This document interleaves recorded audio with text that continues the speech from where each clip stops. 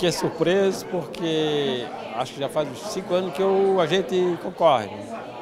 E dessa vez, inclusive, eu levava sempre lá na Previsc aquele papelzinho para concorrer. Esse ano eu levei e deixei no correio. Deixei lá e. Daí, dia 8 de janeiro, telefonou, bateu o telefone, aí a Sônia dizendo, ó, oh, você foi sorteado, homenageado no, no, no, dia dos aposentados. Fiquei surpreso, né?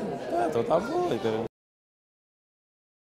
Eu aposentei com 50, até 62 anos eu trabalhei na lavanderia. Trabalhei mais 12 anos na lavanderia, né? Para não ficar parado 50 anos.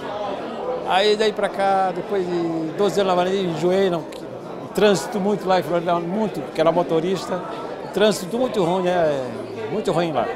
Aí tá, não quero mais, 62 anos, vou parar. Agora só ajuda a mulher em casa. Agora comprei um terreno numa praia lá e final de semana ele vai para lá.